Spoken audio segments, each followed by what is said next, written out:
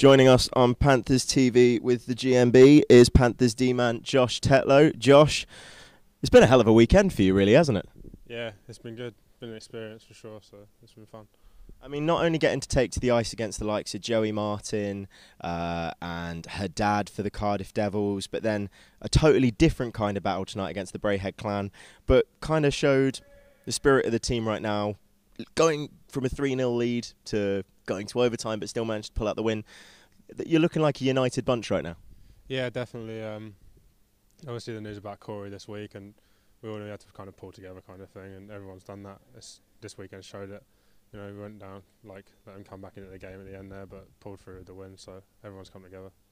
Now, obviously, it's a long it's a long season in ice hockey. We've had some injuries, we've had some suspensions, and uh, when Mathieu Gagnon went away around Christmas time, you came in, got a little bit of time. Now, two games in a row, Dan Spang's missing, and you've been able to step up.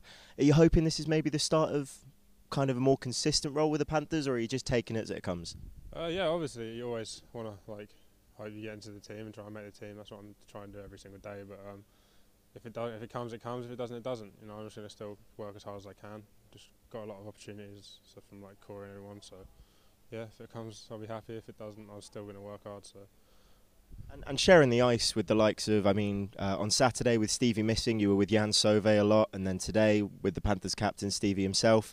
You're learning a lot from them. That although you might be training with them every day during the week, you must pick up so much more when it comes to real game time moments like that.